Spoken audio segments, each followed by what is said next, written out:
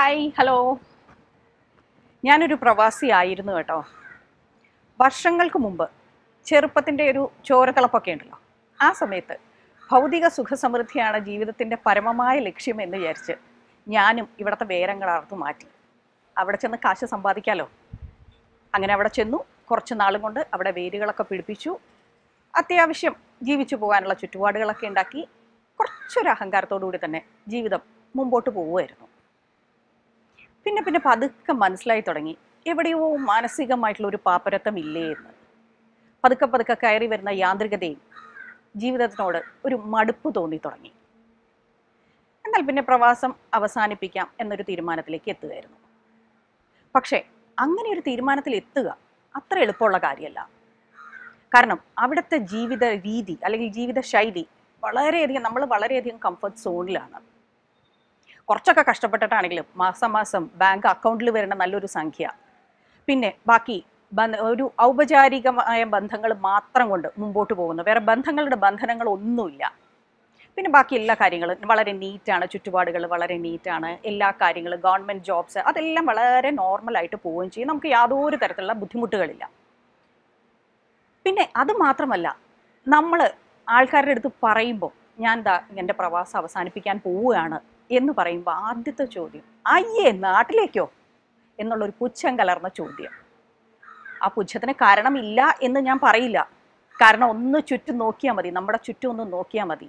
ചീഞ്ഞു നാറുന്ന മാലിന്യങ്ങൾ മൂളിയാർക്കുന്ന കൊതുക് ഈച്ച അവ പടത്തുന്ന സാംക്രമിക രോഗങ്ങൾ പിന്നെ ചുവപ്പ് നാടയിൽ കുടുന്ന കുടുങ്ങിപ്പോകുന്ന സാധാരണക്കാരന്റെ ജീവിതം പീഡനകഥകൾ അഴിമതിയിൽ മുങ്ങിത്താഴുന്ന ഭരണകർത്താക്കൾ ഇഷ്ടംപോലെ കാരണങ്ങളുണ്ട്. അയ്യേ എന്നുള്ള ഈ പുച്ഛത്തിന്റെ പുറകിൽ.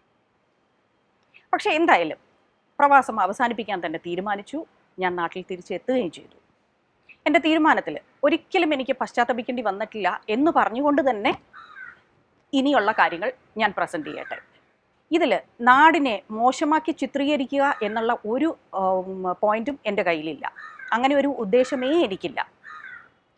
നമ്മൾ കാണുന്ന കാഴ്ചകൾ ആ കാഴ്ചകളിലേക്ക് നമ്മളുടെ ആറ്റിറ്റ്യൂഡ് ചേഞ്ച് ചെയ്താൽ ആ കാഴ്ചകളിലെ നിറം നമുക്ക് കുറച്ചും കൂടെ ഒന്ന് നന്നാക്കി കാണാൻ പറ്റും. അപ്പോൾ ആ ഒരു ആറ്റിറ്റ്യൂഡ് ചേഞ്ച് അത് മാത്രമാണ് ഞാൻ ഉദ്ദേശിക്കുന്നത്. അല്ലാതെ നാടിനെ ഇടിച്ചു കാണിക്കുകയോ താറടിച്ചു കാണിക്കുകയോ എന്റെ ഉദ്ദേശമല്ല എന്ന് വളരെ കൃത്യമായി തന്നെ പറയട്ടെ. വർഷങ്ങളായുള്ള പ്രവാസം സമ്മാനിച്ച അന്യതാബോധം. അത് കുടഞ്ഞു കളയാനുള്ള ശ്രമത്തിലാണ് ഞാൻ. പിന്നെ അതുകൊണ്ട് തന്നെ സത്യസന്ധമായി ആ മാനസിക വ്യാപാരങ്ങളൊക്കെ പ്രസന്റ് ചെയ്യുക എന്നുള്ളത് കുറച്ച് ബുദ്ധിമുട്ടാണ്. അതിന്റെ ആദ്യത്തെ കാരണം എനിക്ക് തോന്നിയത് എന്തുകൊണ്ട് പ്രവാസം അവസാനിപ്പിച്ചു എന്ന ചോദ്യത്തിന് അപ്പുറത്ത് നിൽക്കുന്ന ആൾ പ്രതീക്ഷിക്കുന്ന ഒരു ഉത്തരമല്ല എന്റെ ഇന്ന് വരണത്. അത് തന്നെ അവർക്ക് വലിയൊരു ബുദ്ധിമുട്ടുണ്ടാക്കുന്നു.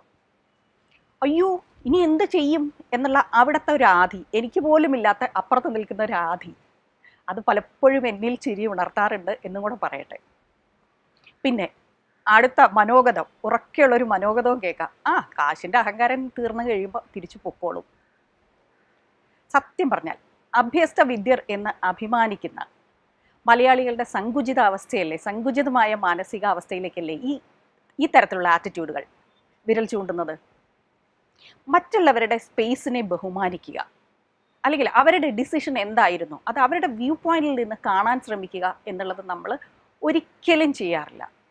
ആവശ്യത്തിനും അനാവശ്യത്തിനും ഒക്കെ കയറി അഭിപ്രായം പറയും. പക്ഷെ അവരുടെ ഭാഗത്തു നിന്ന് മറ്റുള്ളവരുടെ ഭാഗത്തു നിന്ന് ചിന്തിക്കുക എന്നുള്ളത് ഒരിക്കലും നമ്മൾ ചെയ്യാത്തതാണ്.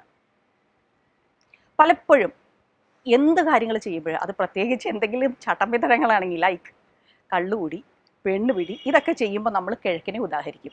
സായിപ്പ് അങ്ങനെ ചെയ്യണില്ല പിന്നെ എന്തുകൊണ്ട് നമുക്ക് ചെയ്തുകൂടാന്ന്? പക്ഷേ അവർക്ക് നമുക്കില്ലാത്ത വലിയൊരു ക്വാളിറ്റി ഉണ്ട്. നല്ല പോലെ പെരുമാറാൻ അറിയാം. നല്ല മാന്യത നല്ല മര്യാദ. മറ്റുള്ളവരുടെ കാര്യങ്ങളിലേക്ക് ഇടപെടാതിരിക്കുക. മാന്യമായ ഒരു അകലം പാലിക്കുക. എന്തെങ്കിലും കാര്യങ്ങൾ ചെയ്തു കഴിഞ്ഞാൽ താങ്ക് യു അല്ലെങ്കിൽ എന്തെങ്കിലും തെറ്റു പറ്റിയാൽ സോറി ആത്മാർത്ഥമായിട്ട് ഇതെല്ലാം പറയും. അത് നമ്മൾ പലപ്പോഴും കാണാറില്ല. കാരണം അതൊക്കെ പറയുന്നത് ഒരു നമ്മുടെ ആ ഒരു പുച്ഛഭാവം ഉണ്ടല്ലോ. എന്തിനേയും ഏതിനേയും പുച്ഛത്തോടെ നോക്കുന്നത്. അത് സമ്മതിക്കില്ല. അതുകൊണ്ടാണ്.